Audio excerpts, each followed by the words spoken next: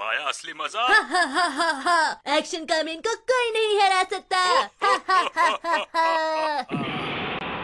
आखिर मैंने इसकी बात मानी क्यों